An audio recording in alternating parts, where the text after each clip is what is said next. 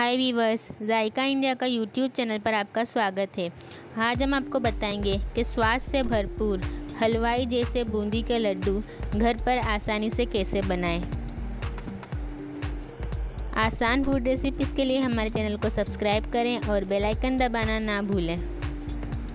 तो चलिए शुरू करते हैं। सबसे पहले हम चाशनी बनाएँगे। इसलिए हम एक पैन में ऐड करेंगे एक कप यानी कि 200 ग्राम चीनी, और अब इसमें ऐड करेंगे आधा कप यानी कि 100 एम पानी। देखिए, चाशनी बनाने के लिए हमने जितनी चीनी ली है, उसका आधा हमने पानी लिया है। अब इसे लगातार चलाते हुए हाई फ्लेम पर पकाएँगे। ये देखिए, चीनी पानी में अच्छे से घुल चुकी है। इस स्टेज पर हम इसमें ऐड करेंगे एक चौथाई टीस्पून ऑरेंज फ़ूड कलर हम यहाँ पर चाशनी को ज़्यादा नहीं पकाएँगे। हम इसे हाई फ्लेम पर तब तक पकाएँगे जब तक चीनी पानी में अच्छी तरह से घुल जाए। हमने चाशनी को लगातार चलाते हुए हाई फ्लेम पर सिर्फ़ दो मिनट के लिए पकाया है। अब हम इसमें ऐड कर देंगे 150 ग्राम बेसन की बूंदी। ये रायते वाली बूंदी है जिसको हमने घर पर बनाया है। चाशनी में बूंदी ऐड करने के बाद हम इसे लो फ्लेम पर एक मिनट तक और पकाएँगे।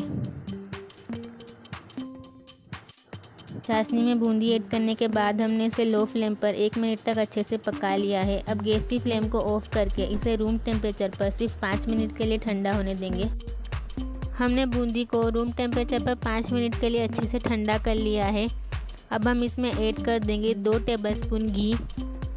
देखिए, हमें इसे ज़्यादा ठंडा नहीं करना, सिर्फ़ पाँच मिनट के लिए ठंडा करेंगे। और इसमें घी ऐड करके इसे अच्छे से मिक्स कर लेंगे।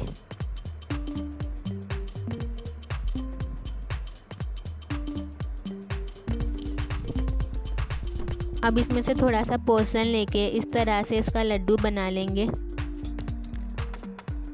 हमने आपको पहले भी बताया था कि लड्डू बनाने के लिए हमने जिस बूंदी का इस्तेमाल किया है, उसको हमने घर पर बनाया है।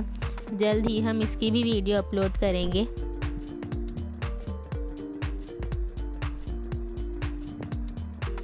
ये देखिए, हमारा एक लड्डू बनकर तैयार है। अब बाकी के सारे लड्डू भी हम इसी तरह बना लेंगे।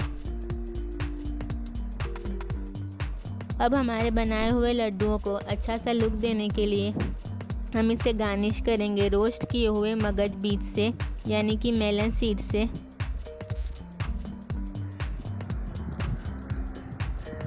तो यहाँ पर हमारे लड्डू बनकर बिल्कुल तैयार है।